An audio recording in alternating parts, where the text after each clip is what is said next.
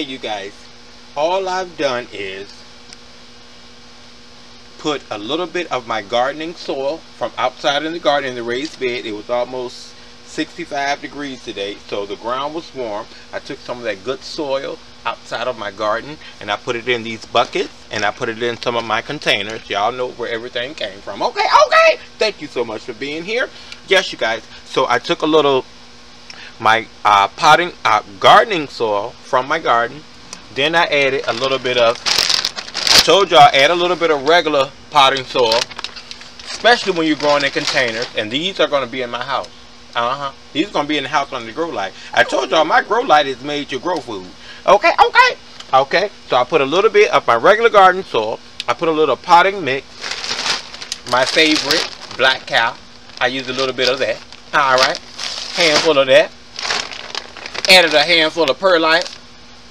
Can I get that in the can? All right. A handful of perlite. You guys, when you're doing your container gardening, just go ahead and spend five, ten, or twenty dollars. I know we all don't have that sometimes, but if you're gonna do something with your containers, you're gonna have to go ahead and invest just a little bit. Okay, cause we ain't got no money. Anybody got no money to be doing all that. But I recycle and reuse mine, but always add a little bit of extra into it. Add a little bit of bone meal. That's what I did for mine. I didn't add any blood meal, just a little bone meal. Gave it a little shake and feed, fertilizer, and some worm castings. Yes, you guys. Uh-huh. Seems like a lot, but that is how I grow everything that I grow. And people are like, okay, well, how's your gardening coming out like it's coming out? And this is what I did. I added all that into my container. And now all I'm going to do is just mix it up together. Okay? Just mix it up together. And I'm just using one of my little, I call it a little fork. The camera turned, didn't it, y'all? I'm sorry. I'm sorry. I'm sorry. I told y'all my camera acting up. Can y'all see me? Okay. Just mix it all up together. I haven't watered it yet. I'm just mixing all the ingredients together from the bottom up. From my um, gardening soil out in my backyard in the raised beds and, and things that grew things amazingly. Yeah. And we're going to put some tomatoes in these. Y'all see that? You see the perlite? the little white flakes coming up. Can y'all see me? I know I have my, my, my light on out here. And I'm just going down. And I'm going to do it a little bit more. But I just wanted to show you guys how easy it is to just make your own great potting mix indoors or outdoors. Okay, okay. Thank you guys so much for being here, y'all. Thank you, thank you, thank you. I think we're almost at 30,000.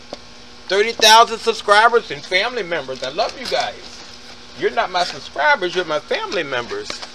I should be doing this in front of the camera. I'm all over the place. Y'all, this camera is doing its own thing. I was trying to get all my buckets for y'all. Uh-huh. Yep. Move one. Slide one. Yep. I did regular garden soil at the bottom from out in the dirt outside. And then I did potting mix, cow manure, my Black Kow, perlite, bone meal, worm castings, and some fertilizer. And these are going to be my containers, y'all. Okay? This is my container soil. This is how I make my container soil. Okay? And I have to go through and do all of these, but I'm not going to hold you that long. I'll show you when I come back, and we're about to plant some indoor tomatoes we're going to grow indoors. Okay, okay. And maybe some champion collard greens. See you in a second.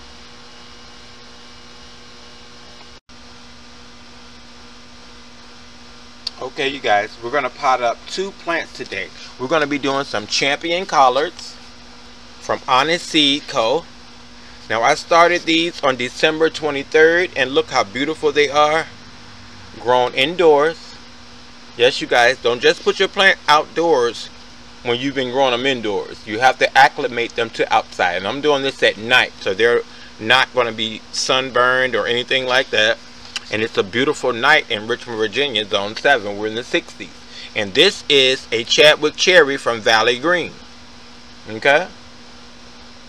A Chadwick Cherry from Valley Green. And I also have a Chadwick Cherry from Baker Creek that I wanted to plant.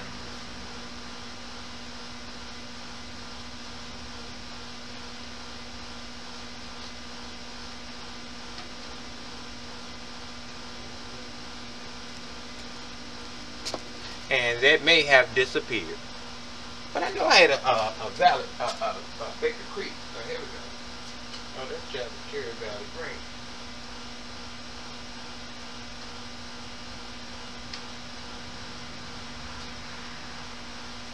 Oh well, y'all. I'm sorry. Y'all know how I do. I'll leave the camera in a minute trying to get it together for y'all. But yeah, y'all, these are some other seedlings that we have going on right here. You see all these seedlings right here? Uh-huh, we have some champion collards and all that good stuff. But today we're going to plant this champion collard into a five gallon bucket from the Dollar Tree. Oh, there's my other plant I was looking for. Oh, no, no, it ain't. This is still Valley Green. But yeah, this is gonna, we're gonna plant a cherry tomato. And you guys, if you look at the cherry tomato, or any tomato plant, you see these little fuzzies along the stem. I'm trying to get it.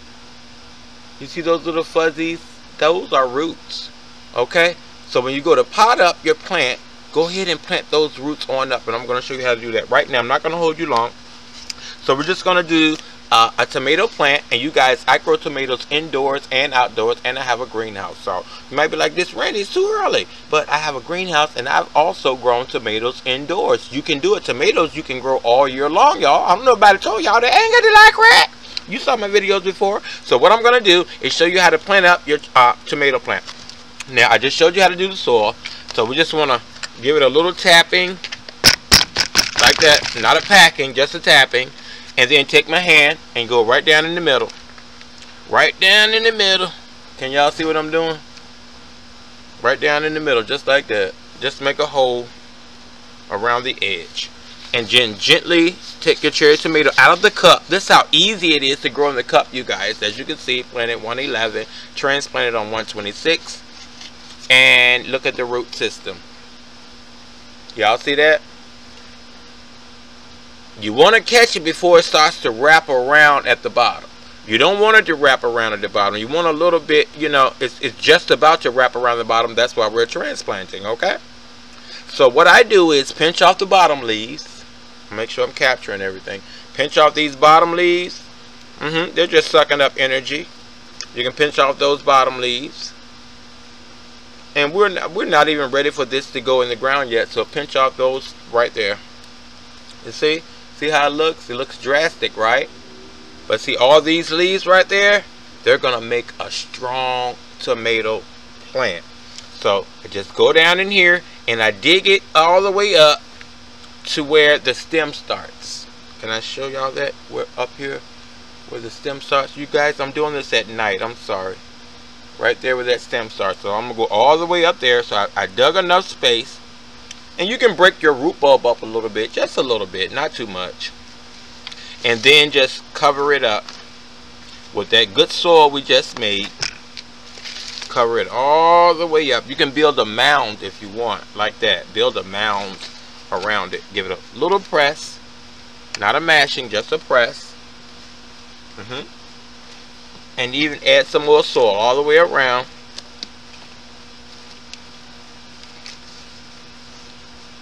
You guys are going to be amazed at how this plant turns out okay? I did it last year the same way. And you see how far I buried it up? And it was tall at, at first and now it looks really short in this bucket because we potted around.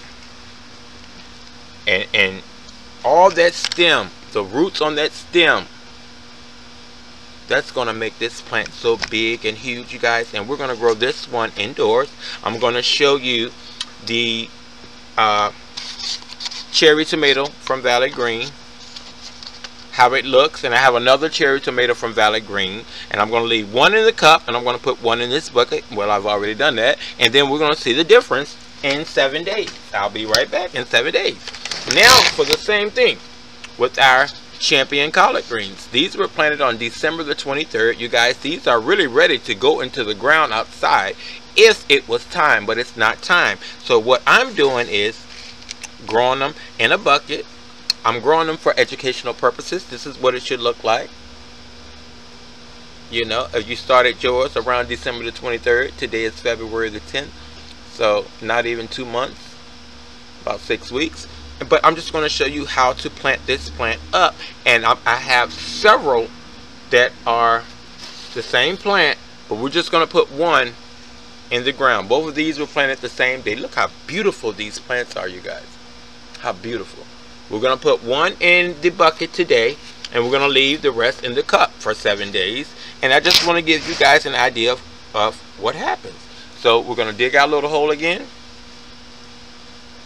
and with this plant, it's kind of short, so I just put take my cup and put it in there like that so I can know how far around to go. And then I take my cup out and gently squeeze my plant out. Look at that. The roots have not coiled around at all. Look at this plant. It's beautiful from seed, from Honest Seed Co. If you have not checked out honestseedco.com, check them out. I have a link in the description box please use that link you guys. It helps out the channel. But yeah can you see the roots? They are not root bound and we're just gonna sit it right down in that container just like that.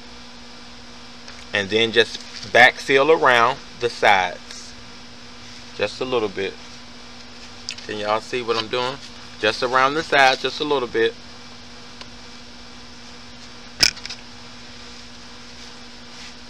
Okay and then give a pressing around the edges. You know smooth it out make it easy. Love on your babies they'll love you back. And so we've planted a champion collard green. I'm gonna put that cup in there so I don't forget. And we've planted a cherry tomato from Valley Green. So yeah you guys this is up planting your plants from the cups into larger containers if you want to transfer them from this into a red cup, that's up to you, and then you'll have to do it again when it comes to these containers. Now, I've grown tomatoes indoors with these Dollar Tree buckets, so we're going to try it again. I'm going to plant some more. I have 15 buckets to go, but I just wanted to show you guys how I do it. I thank you so much for being here. I hope this helps you out just a little bit. Don't forget to live, love, laugh, grow stuff and eat it. You guys are absolutely amazing. I love you. You're the best. Don't forget, click like and subscribe. Leave a thumbs up, thumbs down. Just not two minutes. Go check out Facebook group Gardening with Skinny Boy Randy, Instagram, and Twitter. Bye.